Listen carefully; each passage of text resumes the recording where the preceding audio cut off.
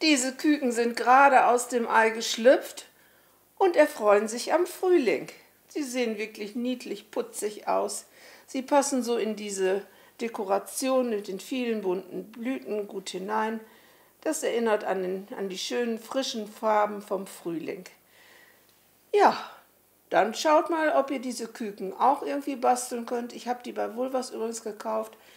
Aber es gibt sicher überall auch unterschiedliche Dekorationen, die da reinpassen würden. Ihr könnt natürlich auch Osterhasen reinsetzen, so wie ihr das mögt. Ja, viel Spaß dabei.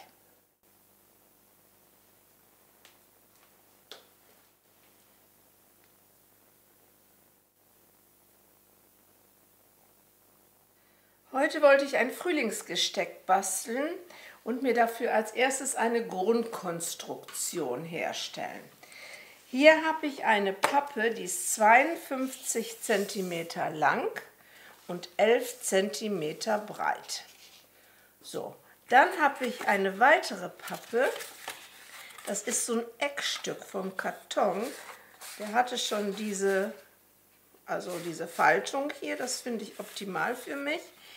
Der ist insgesamt 11 cm breit und 47 cm lang. Also wenn ihr so eine eckige Schachtel in Pappe habt, bietet sich das an, sonst müsst ihr hier das so ein bisschen falzen und dass man das so biegen kann. Ich wollte nämlich so ein bisschen die Deko nicht zu hoch, aber auch nicht einfach platt aufkleben, so verschiedene Blumen, sondern so ein bisschen einen Bogen reinbringen. Und dafür bietet sich dieses, diese Pappe echt an. Die werde ich so aufkleben, dass ich hier noch ein Stück frei habe und auf der anderen Seite ein Stück frei, damit man nachher die Öffnung noch mit verkleben kann. Das Ganze werde ich natürlich mit einem Heißkleber machen. So, zuerst klebe ich hier die Grundfläche fest, da trage ich hier den Klebstoff auf. Das muss ich dann sofort aufkleben, sonst ist nachher der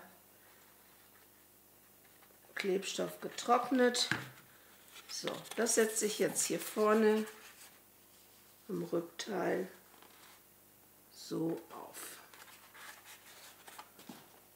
So, dann streiche ich diese Fläche ein.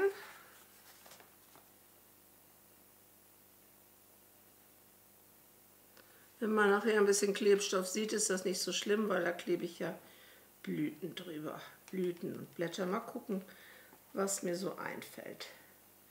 Dann mache ich auch vorher kein äh, Foto für ein Material, weil ich das noch gar nicht weiß. Das ergibt sich, was so in meinem Fundus alles noch so zu gebrauchen ist.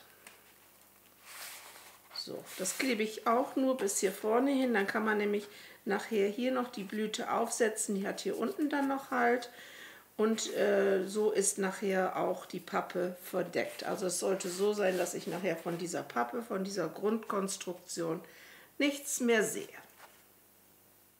Ich habe nun dieses gesamte Pappobjekt mit einem Krepppapier, dies ist ein Gärtnerkrepp, aber ihr könnt auch ein anderes Papier nehmen, auch Tonpapier oder ein normales Krepppapier. Ich habe grün gewählt, weil ich dachte, das ist so wie eine wie das frische Grün des Frühlings. Also, mit diesem Krepppapier oder Gärtnerkrepp habe ich jetzt dieses Objekt umwickelt und hinten festgeklebt. Damit man hier diese Klebestellen nicht sieht, habe ich hier nochmal einen Pappstreifen, ich habe jetzt hier zwei zusammengestellt, aber einen Pappstreifen aufgeklebt. Dann ist das so eine saubere Abschlusskante. So, um jetzt äh, diese Bastelarbeit so gut in Szene zu stellen und dass es alles schön gleichmäßig ist, habe ich an jeder Ecke hier so eine Margaritenblüte aufgeklebt. Das habe ich an dieser Ecke gemacht, so und an dieser. Danach werde ich jetzt dieses Teil gestalten. So, ich möchte natürlich meine schöne Wiese jetzt auch gestalten.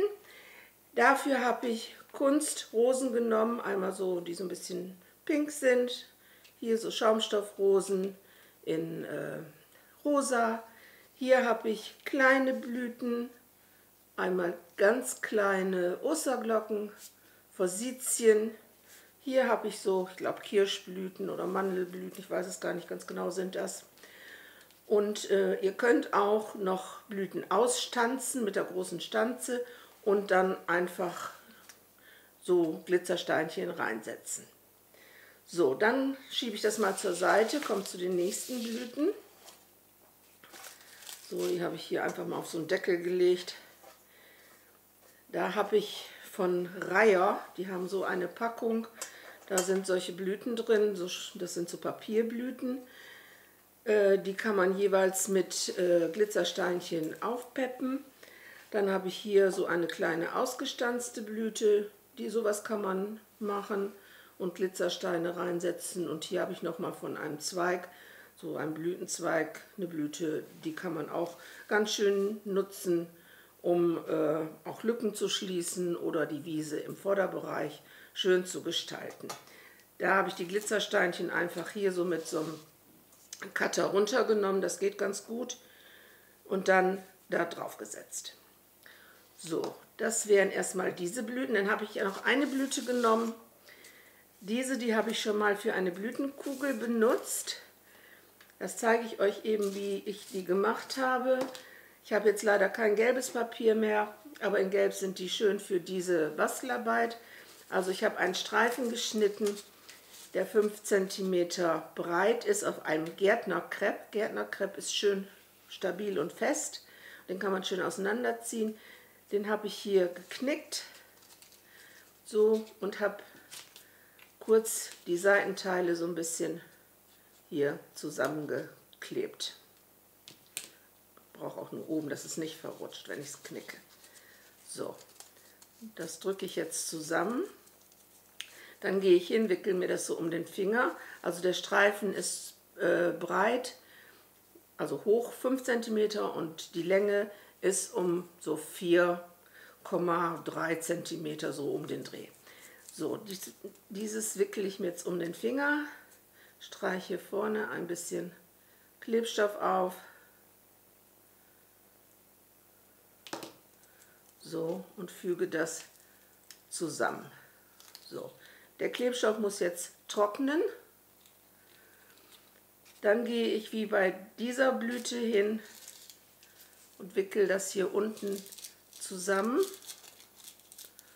mit einem Draht, den habe ich jetzt nicht hier, wickel das zusammen und dann kann ich das nachher hier so auseinander biegen und ziehen, wie hier bei dieser Blüte und anschließend eine Perle reinkleben. So, da habe ich einige von gemacht, weil dieses Gelb, das ist so ein dunkles Gelb, schön in dem Gesteck aussieht und äh, ich damit schön äh, eine größere Fläche gestalten kann. Ja, das zu den Blüten. So, dann hole ich mal eben mein, mein Gesteck und zeige euch das, wie ich die Blüten da aufgesetzt habe. So, das ist jetzt ja ein langes Teil. Da habe ich hier so, wie ihr seht, auf jeder Seite das so positioniert. Die Röschen hier weiter, hier den Zweig reingesetzt, hier die anderen Sachen. Hier habe ich noch Margariten dazu, die hatte ich eben, glaube ich, gar nicht dabei. Margariten. Und jede Seite, diese und die andere, habe ich deckungsgleich geklebt. Dann habe ich hier so eine Lücke gelassen und die kleinen Blüten hier entlang so versetzt aufgeklebt. Diese Fläche werde ich jetzt mit Ostereiern gestalten. Und zwar, die zeige ich euch mal, die sind ganz niedlich. Ich stelle diesmal so zur Seite. So, dann habe ich hier bei Vulvas noch so wirklich süße Küken gefunden. Die gibt es in vier verschiedenen Farben. Ob ich sie alle vier nehme, das glaube ich nicht. Ich nehme aber drei Stück davon. Die gibt es in lila, in rosa oder pink, in gelb und in grün. Die sind total süß, finde ich. Was ich da machen muss, ich muss auf jeden Fall den, äh, die Aufhängung, weil das sind ja Ostereier zum Aufhängen, Zweiganhänger, da muss ich jetzt die Bänder abschneiden und dann werde ich die Küken, wenn ich das nochmal hier vorstelle, hier gleich aufkleben mit dem Heißkleber. So, ich glaube drei Stück nehme ich oder vier, ich weiß es noch nicht genau, muss ich gucken. An beiden Seiten habe ich jetzt noch so ein bisschen Kunstbuchsbaum eingesetzt. So, wie ihr seht, zwei Küken habe ich schon mittig aufgeklebt. Hier ist das dritte. So, also das vier wird ein bisschen viel. Dann habe ich mir, das habe ich das Grüne weggelassen und diese hier aufgesetzt. So, hier vorne klebe ich noch kleine Blümchen drauf. So. Und hier. Und mal gucken, wenn ich hier noch so an das Küken jeweils eine kleine Blüte setze, ob das aussieht. So, hier seitlich.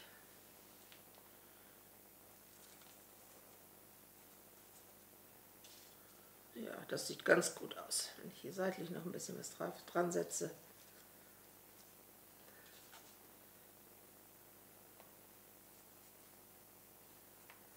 So, und dann ist meine Bastelarbeit fertig. Ihr könnt die Rückseite natürlich ganz genauso gestalten. Die Seitenteile habe ich schon so gemacht, dass dieses, was vorne ist, auch hinten sich wiederholt.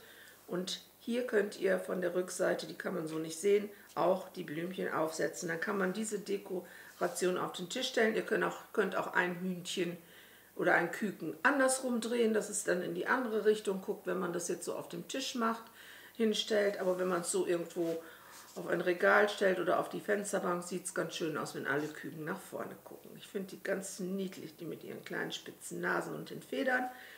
Ja, dann will ich das mal eben dekorieren. Ich hoffe, dass euch das Video gefällt. Diese Gesellen sehen echt putzig aus, aber es gibt in den Geschäften wirklich so wunderschöne andere Sachen. Ihr könnt auch welche basteln oder Eier selber bemalen und bekleben, ganz wie ihr das möchtet. Ansonsten schaut mal in meine Playlist Frühling und Ostern rein. Da gibt es wunderschöne kleine Hasen, die man selber basteln kann. Da braucht ihr also nicht großartig was einzukaufen. Ja, irgendwas wird da für euch dabei sein. Ich wünsche euch viel Spaß dabei. Ich würde mich natürlich über einen Kommentar, ein Abo und über einen Daumen nach oben freuen. Ja, dann wünsche ich euch eine schöne Zeit. Bis bald, eure Angelika Kipp.